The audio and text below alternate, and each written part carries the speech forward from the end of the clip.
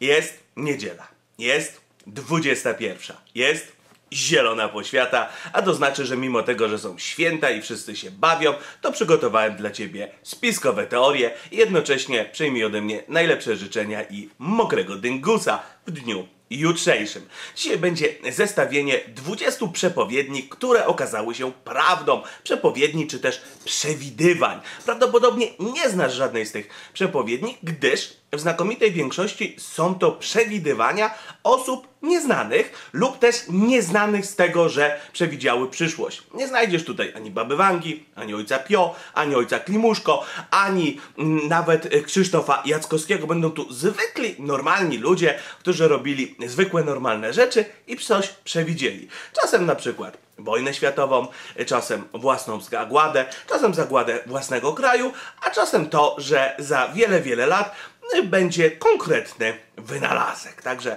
zapraszam Ciebie do oglądania, a ponieważ jeszcze mamy dzisiaj 1 kwietnia, prima aprilis i możesz pomyśleć, że sobie zmyślam i żartuję, to bardzo Cię proszę, że u mnie nawet w spiskowych teoriach są źródła. W związku z tym możesz otworzyć sobie opis, tam na samym dole jest takie słowo źródła, dwukropek, a potem są linki, w tym wypadku bodajże jeden, do artykułu, który posłużył za źródło dzisiejszego vloga. Możesz sobie sprawdzić, że ja nic sobie, moi kochani, nie wymyśliłem. Jednocześnie przypominam, że trwa akcja nie niedziela, za 5000 łapek w górę dostaniecie dodatkową spiskową teorię w tygodniu. W dniu, w którym nagrywam e, tego vloga, no niestety nie udało się tego wbić na vlogu o tragedii o Gibraltarze, mimo tego, że jest moim zdaniem bardzo ważnym vlogiem, bardzo pouczającym, e, pokazuje jak bardzo nasi alianci niestety nas zawiedli i jak mogłaby wyglądać Polska, gdyby właśnie generał Sikorski nie został, no właśnie prawdopodobnie prawie na pewno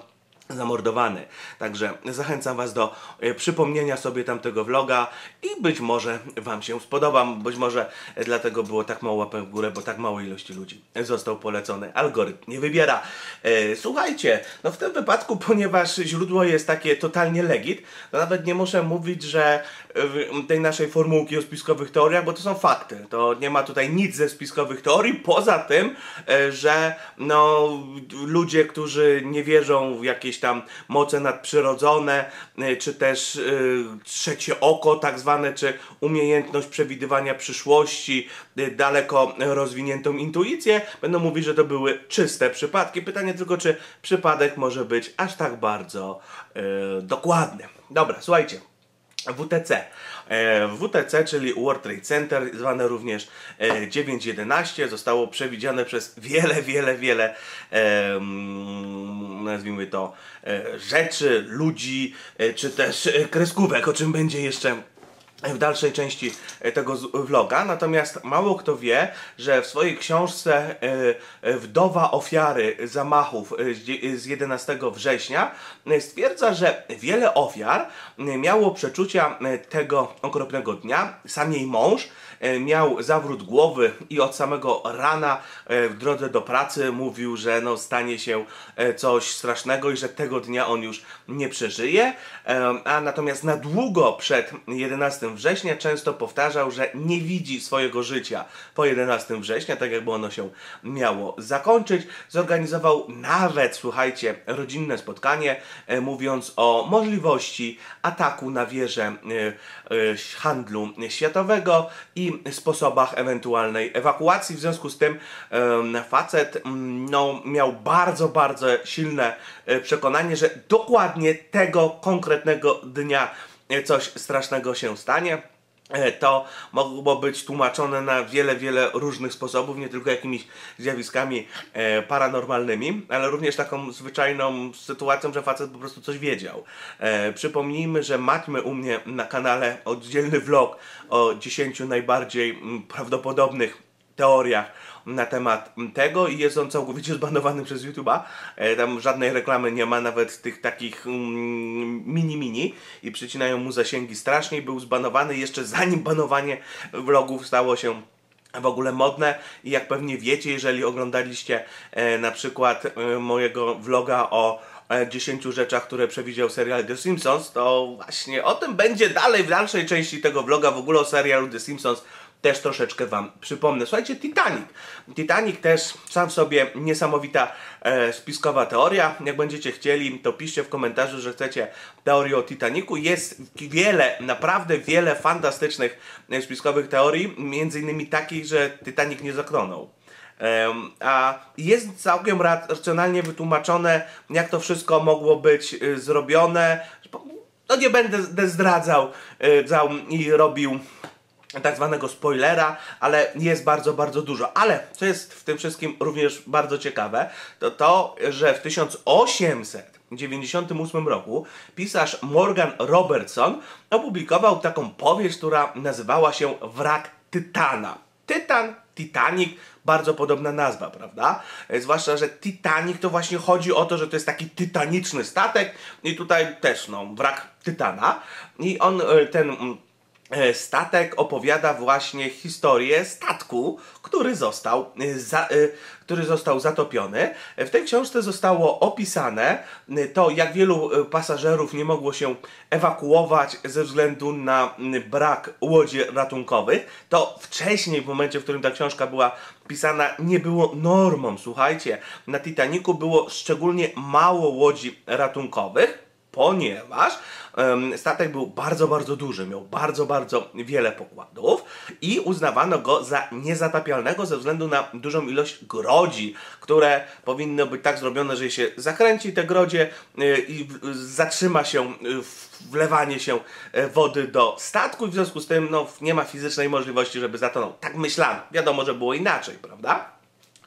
W związku z tym uznano, że nie ma sensu e, robić tak, żeby były szalupy ratunkowe dla wszystkich pasażerów, ponieważ one, cytuję, zaśmiecają pokład. A pokład oczywiście był no, ten główny pokład, najważniejszy, ten, na którym się najwięcej mogło zmieścić, to był czyj? No pierwszej klasy był, prawda? No i pierwsza klasa nie miała ochotę e, się potykać o łodzie ratunkowe. Zdaje się, że nawet przed pierwszym i jedynym rejsem Titanica zdemontowano część szalup właśnie z, ze względu na to, żeby pierwsza klasa miała jak najbardziej komfortowy rejs.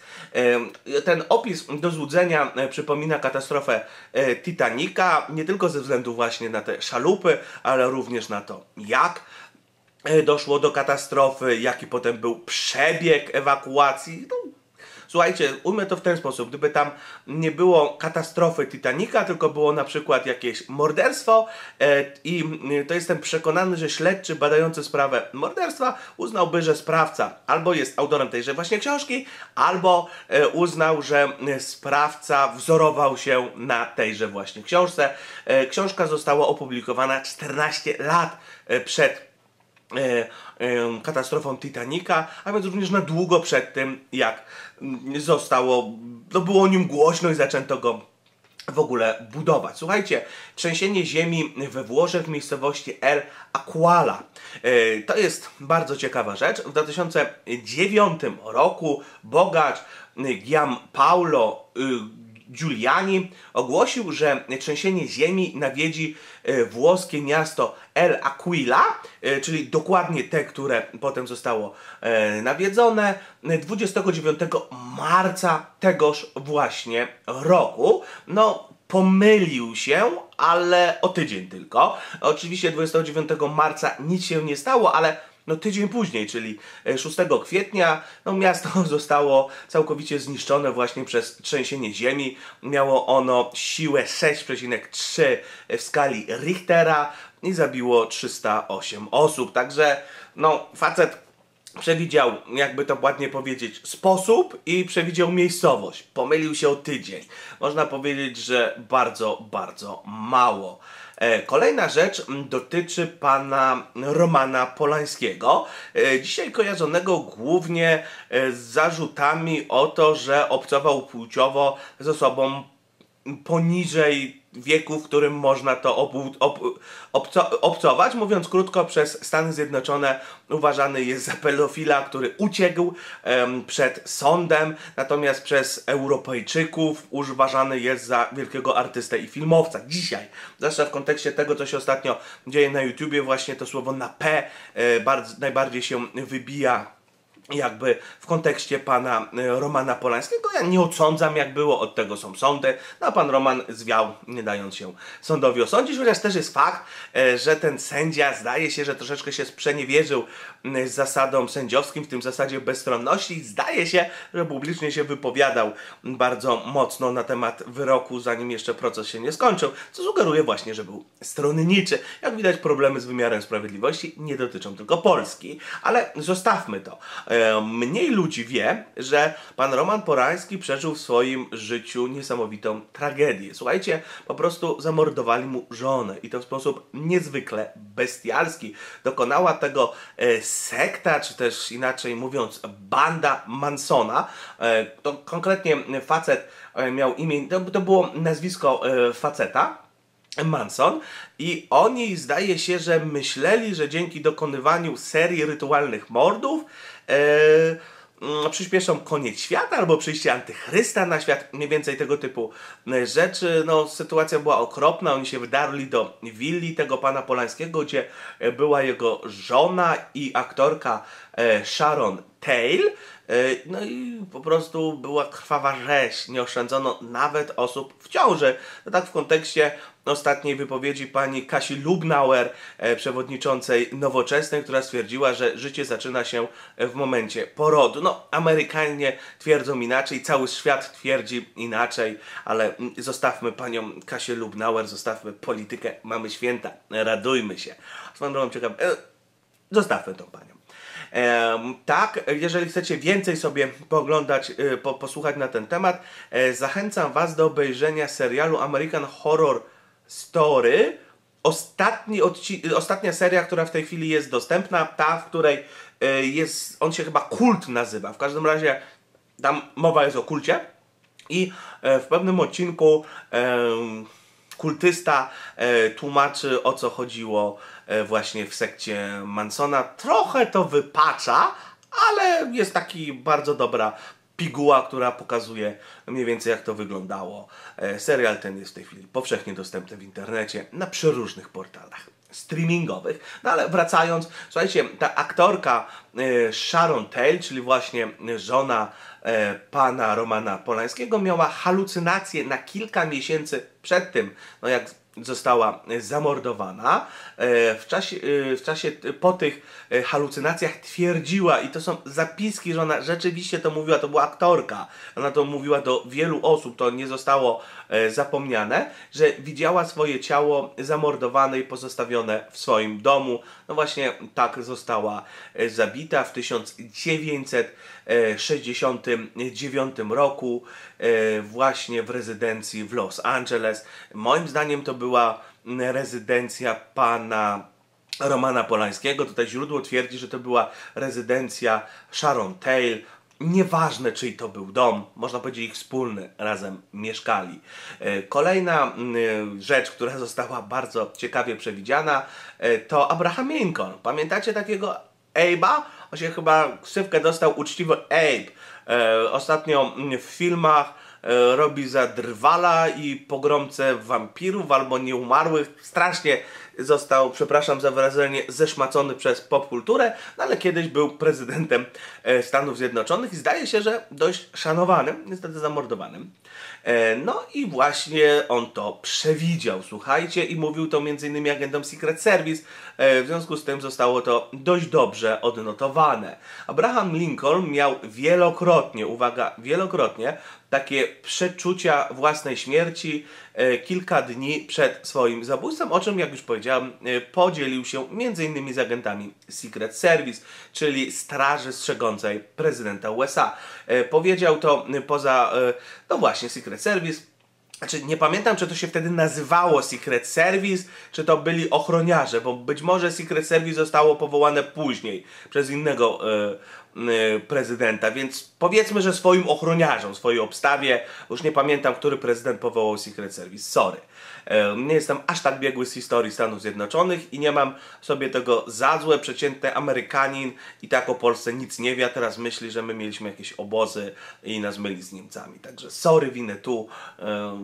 No nieważne. W każdym razie powiedział to swojemu ochroniarzowi, e, że widział siebie idącego w kierunku Białego Domu, jednocześnie widział żołnierzy płaczących nad kimś, po kimś, no ewentualnie, ewidentnie lamentujących. I ten Clinton, przepraszam, Lincoln, Clinton jeszcze żyje, I ten Clinton zapytał jednego, zawsze w tych swoich wizjach, przeczuciach pytał jednego ze swoich, e, pisał jednego z tych żołnierzy, nad kim płaczą i dowiadywał się, że chodzi o zamordowanego właśnie prezydenta Stanów Zjednoczonych, no czyli miał wizję quasi ducha, jakby tego, jak będzie ewentualnie po śmierci. Lincoln został e, zamordowany 14 kwietnia 1865 roku w Waszyngtonie e, sprawcą był aktor John Wilkes Booth. E, kolejna ciekawa przepowiednia, która się ewidentnie sprawdziła, to katastrofa na platformie wiertniczej w Zatoce Meksykańskiej. Słuchajcie, może pamiętacie, w 2009 roku był taki film Zapowiedź. I tam w tym właśnie e, filmie postać, która była grana przez Nicolasa Cage'a, wówczas jeszcze aktora, który grał w całkiem dobrych produkcjach, e, oglądała sobie telewizję ta postać. I w tej telewizji leciały wiadomości i w tych wiadomościach była podana informacja o eksplozji na platformie wiertniczej w Zatoce Meksykańskiej. Słuchajcie, rok później, dokładnie 20 kwietnia 2010 roku, e, prawie identyczny nagłówek e, dotyczący autentycznego wypadku na platformie w Zatoce Meksykańskiej, e, która spowodowała największą w regionie katastrofę środowiska naturalnego się ukazał w prawdziwych wiadomościach. Przypadek? No właśnie, tutaj są zdania podzielone, natomiast Powiem Wam tyle, że a propos e, wypadku tego katastrofy e, platformy wiertniczej był bardzo ciekawy um, odcinek South Parku, gdzie prezes to było chyba Epson Mobile, czy jakoś tak, tak y, tylko rozbierał się na nagle i mówił we sorry, we sorry, we sorry, we sorry, nie? E, dobra, mm, punkt 7. E, no, to jak już zapowiedziałem, seria przepowiedni w The Simpsons. I tutaj zrobię taką małą mm, reklamę mojego vloga sprzed kilku lat, w którym zbierałem rzeczy, które zostały przepowiedziane przez serial The Simpsons. E, dam ten serial do opisu, jak nie zapomnę, dam go tutaj na kartę i dam go na samym końcu na te 20-sekundowe adnotacje, które są na samym końcu filmu, ponieważ y, serial The Simpsons przewidział całą masę różnych rzeczy. Między innymi WTC, E, słuchajcie, to, to jest aż po prostu niewiarygodne. Tam jest przecież odcinek, w którym rodzina e, Simpsonów wybiera się do Nowego Jorku. E, jest taka słynna scena, tam w tym filmie, w rogu, o którym mówię, są pokazane screeny, w związku z tym możecie to sobie również zobaczyć, a nie tylko to, co ja wam mówię. Obejrzyjcie to, szczególnie. Tam jest taka, tam jest, Bart Simpson pokazuje taką okładkę czasopisma, która się układa w 9.11, E, i, jeszcze są pokazane dwie wieże, ta jedenasta jest zrobiona z dwóch wież. No po prostu, no kilka, tam jest miejsce, data, co się stanie, wszystko. Tam jest yy, samolot, który się rozbija. Wręcz powiedziałbym, że mm, no, wygląda to idealnie tak, jakby ktoś zamierzał to zrobić specjalnie, a wcześniej się naśmiewał z ludzi, ha, ha, ha, zobaczcie, pokażę wam, co się stanie, a i tak się to stanie. W 1993 roku e, natomiast mm, w The Simpsons e, pokazano, że tygrys e, zaatakował znanych tres treserów z Las Vegas, którzy w serialu nazywali się Gunter i Emsa, ale wiadomo wszystkim, że chodziło o Siegfrieda i Roya. No w 2003 roku Siegfried został sam, ponieważ Roya rzeczywiście zaatakował tygrys, dokładnie tak samo jak to było w The Simpsons. No i duet się skończył, został singiel, że się e, tak wyrażę, a singiel już chyba sam nie, nie, nie chciał występować. Z innych ciekawych rzeczy, które The Simpsons tak ostatnio pokazało, to takie przewidziało, to takie bardzo specyficzne e, ustawienie Donalda Trumpa nad taką specyficzną kulą e, oraz e, słynna akcja ze zjeżdżającymi e, schodami ruchomymi. Niektórzy mówią, e, że prezydent specjalnie zagrał dokładnie taką samą scenę po to, żeby było jak najwięcej mówione o nim, no bo ha, ha, ha, e, przecież w The Simpsons pokazano, prawda? E, Pokazano taką scenę, e, w związku z tym on jak- jakby post factum próbował ją zagra, nag, nagrać, żeby ludzie o tym mówili. No, hmm. Jest to bardzo, bardzo ciekawe, zwłaszcza w kontekście ostatnich rzeczy, które się o Donaldzie Trumpie mm, pojawiają. Słuchajcie, Ósma e, przepowiednia, bo tamte trzy liczyłem za jedno. A przypominam, The Simpsons przewidział tego kilkadziesiąt rzeczy. Obejrzyjcie. Oddzielny vlog o tym. E, Słuchajcie, dziwny zbieg okoliczności w firmie, w filmie Poltergeist, tym oryginalnym, tym z lat, oś, y, z lat 80. albo końcówki 70. jakoś tak, a nie tym takim nowoczesnym. Nie, tym oryginalnym, ze starych dobrych y, czasów, kiedy VHS było jeszcze na topie, czy jak to woli, na propsie.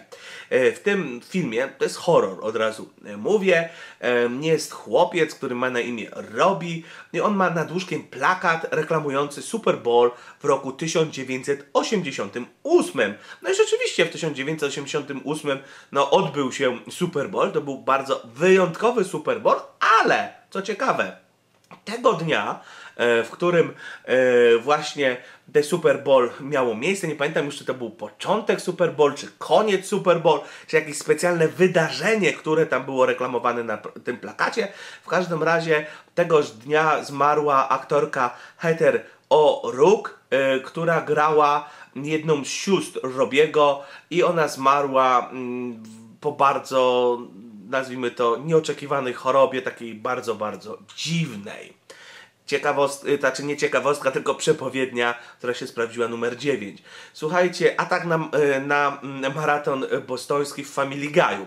E, Family Guy przez wielu jest traktowany jako taka czwórka seriali. Jest Family Guy, jest The Simpsons, jest South Park, I jeszcze jest Futurama, że te cztery seriale mm, są takie bardzo, bardzo do siebie podobne. One też nawzajem często z siebie szydzą.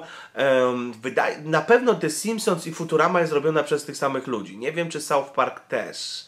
Natomiast w South Parku też bardzo wiele rzeczy zostało przewidzianych i South Park się kiedyś nawet naśmiewał z, Barfa, z Barta Simpsona. To był taki odcinek Bart Simpson Do It First, coś takiego. W każdym razie to był odcinek o tym, że Bart Simpson zrobił to już wcześniej, ale nieważne.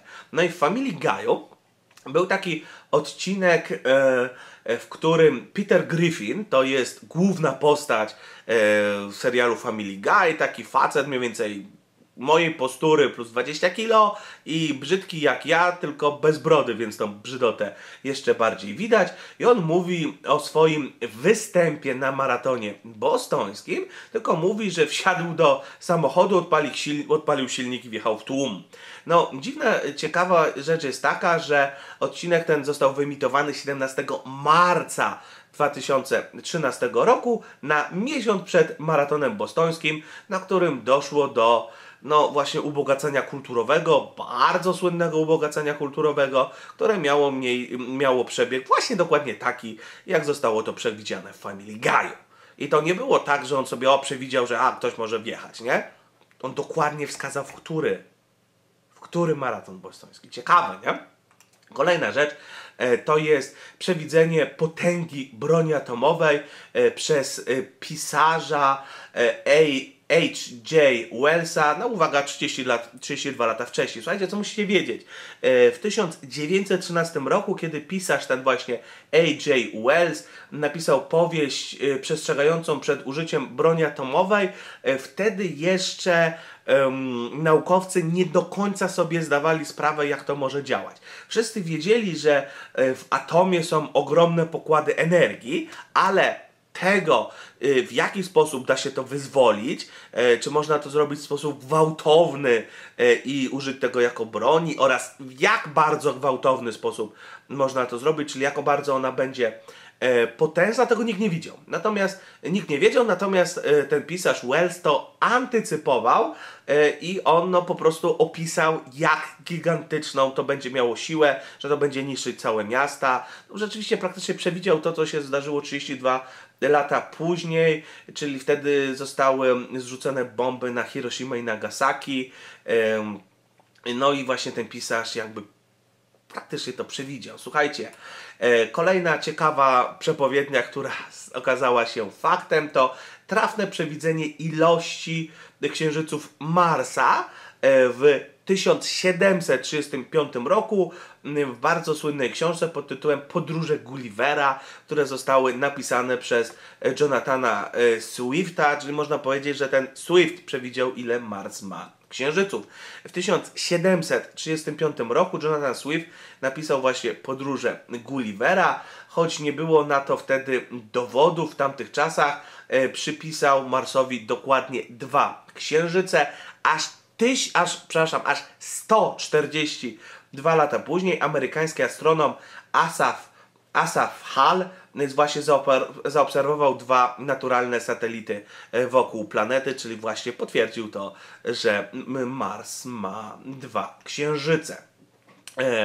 Kolejna rzecz, która została przewidziana, to udana załogowa misja na Księżyc, która, która została przewidziana, uwaga, w 1865 roku w książce pod tytułem Z Ziemi na Księżyc. Dokładnie w 1865 roku, właśnie w tej książce Z Ziemi na Księżyc, francuski autor Juliusz Verne, może pamiętacie Juliusza Werna, e, będzie jeszcze o nim mowa w tym materiale. Juliusz Verne, e, między innymi mm, w 40 dni dookoła świata, prawda? Tam też, słuchajcie, była przepowiednia. Teraz mi się przypomniało, że jak Verne y, opublikował y, w, bodajże w 40 dni, może w 20, ale chyba w 40 dni dookoła świata, to on powiedział, że w tych czasach, gdy on to publikował, to rzeczywiście było niemożliwe. W 40 dni dookoła świata, no nie da się. Słuchajcie, to był XVIII wiek, jak on to e, mm, przepraszam, XIX wiek, jak on to, e, jak on to publikował, prawda? E, no, no tak, dokładnie tak. E, I wtedy to było kompletnie niemożliwe, żeby w 40 dni otoczyć, o, jakby dookoła Ziemi przejechać. I on powiedział, że kurde, niedługo to będzie nie tylko w 40 dni, ale w 40 godzin. No dzisiaj wiemy, że jak wsiądziemy w odpowiednie samoloty i odpowiednio sobie zgramy połączenia, to nie jest to niemożliwe, żeby okrążyć Ziemię w 40 godzin. Nie mówiąc już, że ci, którzy są e, nad nami e, w stacjach e, badawczych, tych kosmicznych, no to przecież okrążają Ziemię co chwila. No, chyba kilkanaście razy na dobę, tak mi się wydaje. Dobra, w każdym razie wracamy do, wracamy do z Ziemi na Księżyc. Juliusz Verne i on tam snuł wizję rakiety wystrzelonej, uwaga, z Florydy. Bardzo ciekawe, że akurat z Florydy, prawda? I ona, ta rakieta miała dolecieć na Księżyc, e, tam ludzie oczywiście mieli wyjść, zrobić sobie odpowiednie rzeczy, a następnie ta rakieta miała wrócić na Ziemię. No, jak wiadomo, zdarzyło się to dokładnie 104 lata później w ramach misji Apollo 13 misji, która swoją drogą jest owiana bardzo wieloma tajemnicami. E, zachęcam Was do obejrzenia spiskowych teorii na temat tego, że NASA wie o tym, że, że NASA ujawni istnienie obcych i że NASA wie, że tam jest też mowa o bazach na Księżycu, takie rzeczy. Przejrzyjcie playlistę spiskowe teorie, macie ją w pierwszej linii opisu, moim zdaniem bardzo, bardzo warto to zrobić. Słuchajcie, E, okręt o napędzie atomowym został nie tylko przewidziany, ale e, kompletnie opisany w 1870 roku. Przepraszam, w 1870 roku, zgadnijcie przez kogo? Juliusza Werna. E, on to oczywiście opisał w książce pod tytułem 20 mil podwodnej żaglugi. Okręt nazywał się Neutilius, podobnie jak Fundacja Neutilius, która zajmowała się spiskowymi teoriami, jak gdy Krzysiu był jeszcze w, mm, w podstawówce, leżał sobie na kanapie, uwielbiał słuchać Neutiliusa. Niedawno miałem przyjemność zamienić dwa słowa z prowadzącym Neutiliusa Radia Z. Bardzo miły człowiek, bardzo serdecznie pozdrawiam i polecam. Jest taka strona neutilius.org albo Fundacja Neutilius, także oni nie zginęli, oni są, tylko są w internecie, można sobie tam poczytać.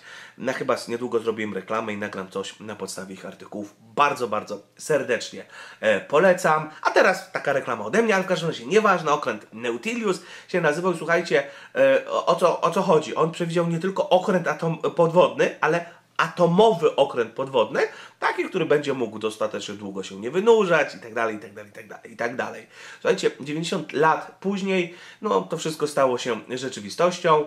E, wtedy został e, jakby no, nie tyle zwodowany, co wypuszczony do eksploatacji okręt USS Nautilus. Właśnie on był pierwszym napędzanym energią e, elektryczną, która była wygenerowana z reaktora atomowego. E, tysiąc, e, przepraszam, kolejna e, przepowiednia, czternasta, po prostu pierwsza takie słowo na W, którego nie wolno wymawiać na YouTubie, światowa, została przewidziana szczegółowo przez, uwaga, polskiego bankiera w 1989 roku.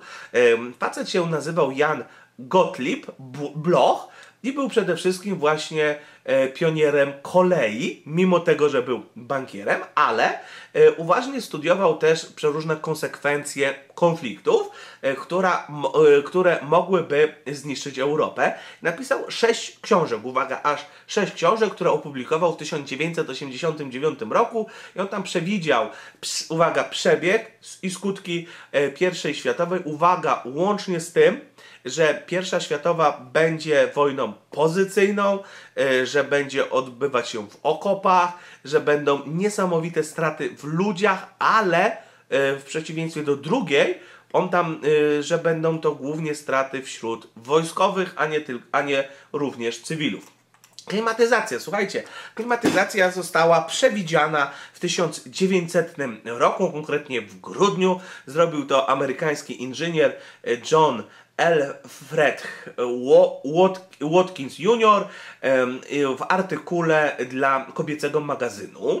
E, tak to ładnie powiedzmy. On e, jednak troszeczkę się pomylił, ponieważ uważał, że klima będzie swoistymi kranami wypełnionymi zimnym powietrzem. Mówiąc krótko, on uważał, że będzie jakaś taka centralna klimatyzacja. Tak jak mamy centralne ogrzewanie, prawda, że mamy gdzieś tam ciepłownię albo elektrociepłownię i ona tam nas rozprowadza no, y, jeśli jest duża, to na przykład po, po, po, mieście albo po kilku dzielnicach, a jeżeli jest mała, to mamy jakąś taką kotłownię w piwnicy, prawda?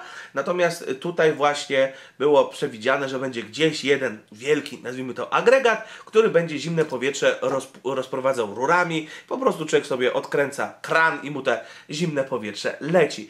I powiem wam tak, że yy, w, przynajmniej w wielkich budynkach to on się dużo nie pomylił. Bo przecież jest coś takiego jak centralna klimatyzacja, a te wielkie budynki potrafią być no naprawdę bardzo wielkie i potrafi tam być bardzo, bardzo wiele um, pokoi.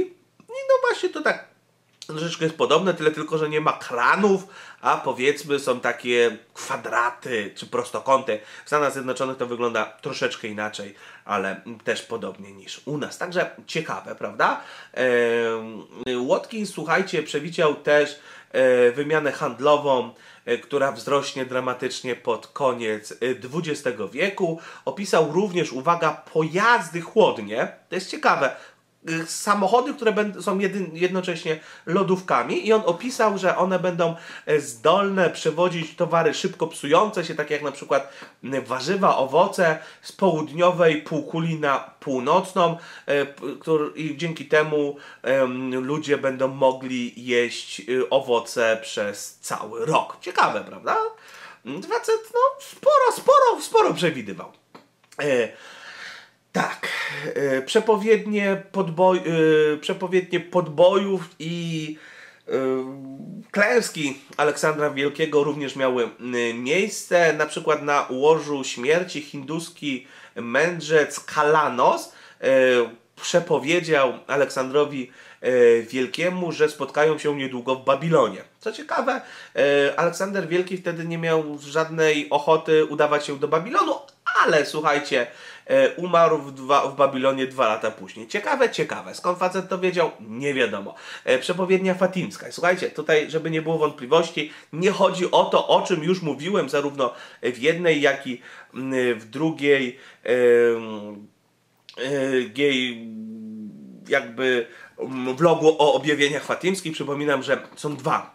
Jeden jest taki oficjalny i tam jest mowa o wersji oficjalnej, że niby e, objawienie fatimskie, że tam niby Matka Boska ostrzegała przed tym, że będzie atak e, i próba zabicia papieża Jana Pawła II, i ona się kupy nie trzyma, ale to jest ta oficjalna, wspierana przez Kościół. Obejrzyjcie sobie ten vlog, tam bardzo wyraźnie punktuje, dlaczego ona się kupy nie trzyma. Natomiast druga, um, a propos czwartej tajemnicy fatimskiej, przepraszam, czwartej tajemnicy fatimskiej, a ta druga e, mówi, to są tajemnice fatimskie trzecia, przepraszam, trzecia tajemnica fatimska, wersja oficjalna, to już powiedziałem, i wersja nieoficjalna, ta prawdopodobnie prawdziwa, mówi, że trzecia tajemnica fatimska e, mówi o tym, że będzie, no, upadek kościoła katolickiego i będzie rzeź chrześcijan.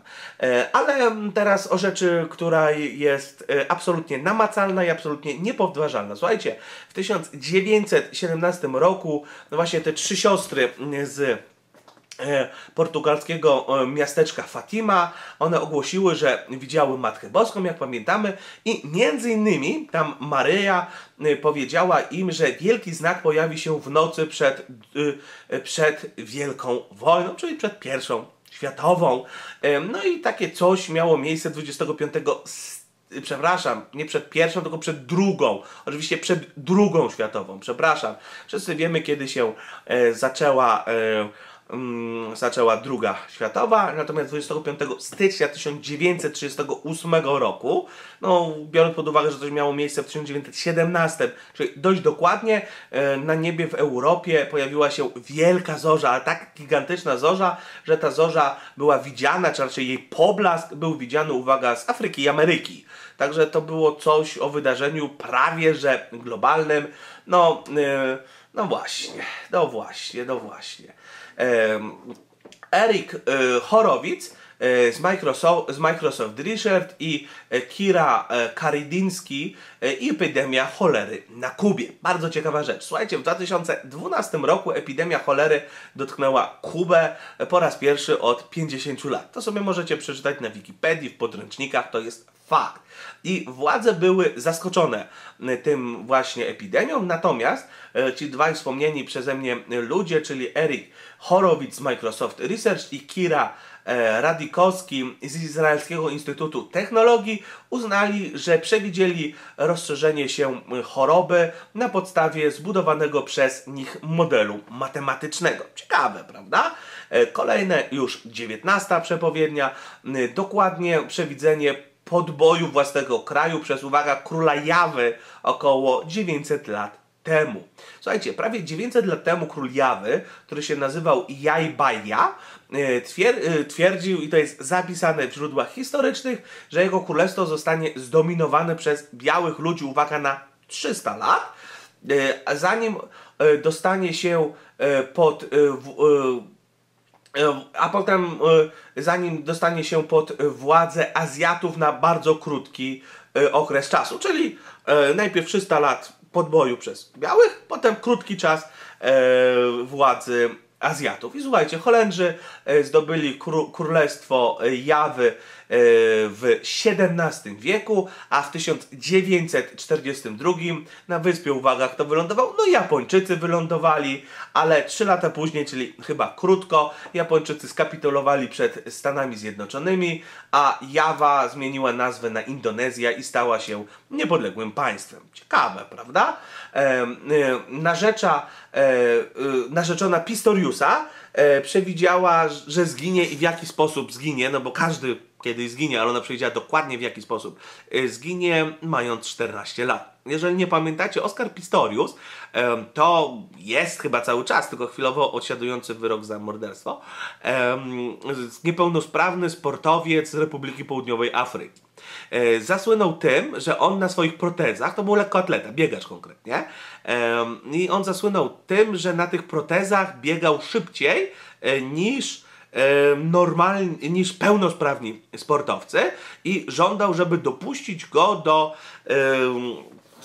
do, e, no Boże, do występów, do ścigania się z pełnosprawnymi sportowcami. To wywołało bardzo duże fale, nazwijmy to, hmm, kontrowersji, nie tylko w świecie sportu, ponieważ e, mówiono dość publicznie, że Pistorius wcale nie jest takim super sportowcem, tylko te protezy e, do biegania, które on ma, dają mu przewagę, że on, gdyby miał normalne nogi, biegałby wolniej niż na tych protezach. Tam były dokładne wyliczenia, że te protezy dają przewagę. I e, było zagrożenie, e, że lekkoatleci, że to po prostu będzie nic innego jak doping mechaniczny, że lekkoatleci, którzy będą mieli niesamowitą em, no, parcie na to, żeby em, zdobyć medal, że celowo zrobią coś, nieważne co, żeby stracić nogi, a potem, żeby mieć te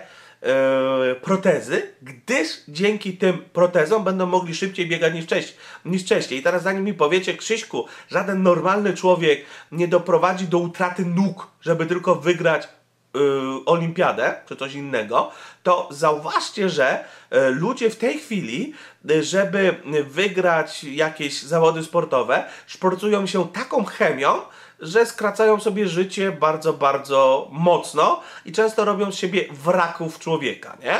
Więc ja nie wiem, co jest bardziej nieprawdopodobne. Czy to, że ktoś utnie sobie nogi, przepraszam za kolokwializm, czy to, że ktoś sobie całkowicie zrujnuje zdrowie i będzie potem wrakiem człowieka. Jak dla mnie jedno i drugie jest naganne, nie? No ale nieważne. Ten Pistorius zasłynął tym, że zastrzelił swoją narzeczoną e, w łazience. W wersji Pistoriusa e, było tak, że on, e, on żył w Republice Południowej Afryki, tam jest bardzo niebezpiecznie, zwłaszcza teraz, ale wtedy jeszcze było dużo bardziej bezpiecznie, ale już wtedy były te tak zwane getta dla białych i, i było już też niebezpiecznie.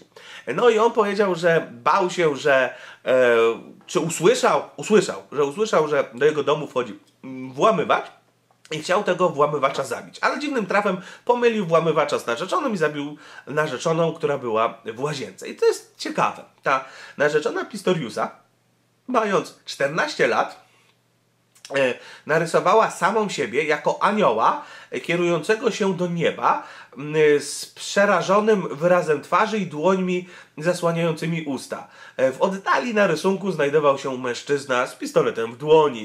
I Ona takich rysunków potem wielokrotnie e, podobnych kilka rys e, rysowała. Ciekawe, prawda? Także moi kochani, pozdrawiam Was bardzo serdecznie. Jeśli raz, jeszcze raz życzę Wam mokrego dyngusa i co? No, mam nadzieję, że będzie 5000 łapek w górę i że we wtorek będzie nie niedziela. Pozdrawiam, do zobaczenia, trzymajcie się. Pa, pa!